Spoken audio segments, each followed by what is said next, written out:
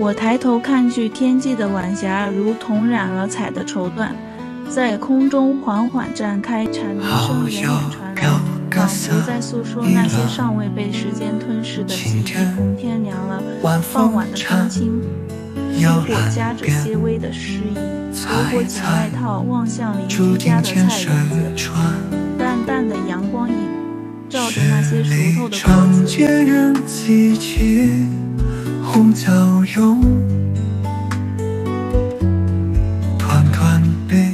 一枝困心埋缠根。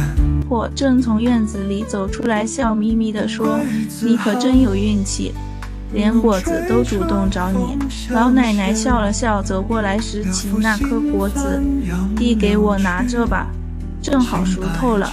她。唱一串。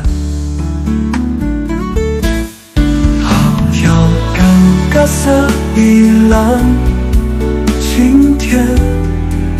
风缠，摇篮边，猜一猜，注定见水川。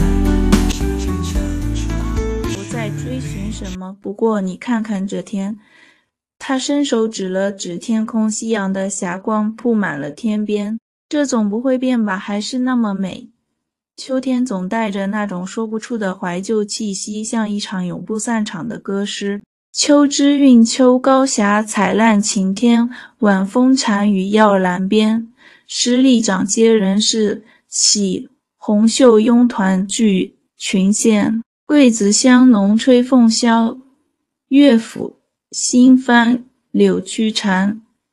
青白酒对一川唱，月下婵娟已相连。这天虽已入秋，却依旧带着一份婉转柔和的余意，会让人想起儿时的一切，想起那些曾经以为永远不会改变的东西。